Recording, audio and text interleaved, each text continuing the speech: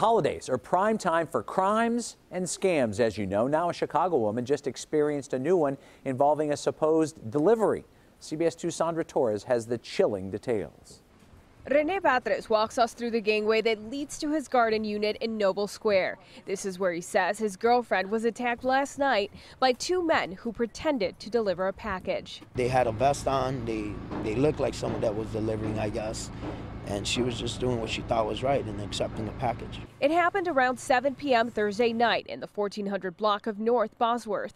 The woman apparently opened the door to let her dog in, and that's when one of the men pushed her in. Next thing you know, pulled out a gun, pistol whooped her, and punched her. Dragged her into my bedroom, and at that point, they asked where was the money. She, she wasn't telling them anything. Then they started breaking into my boxes. Batres says the two suspects got away with almost $3,000 in cash and jewelry.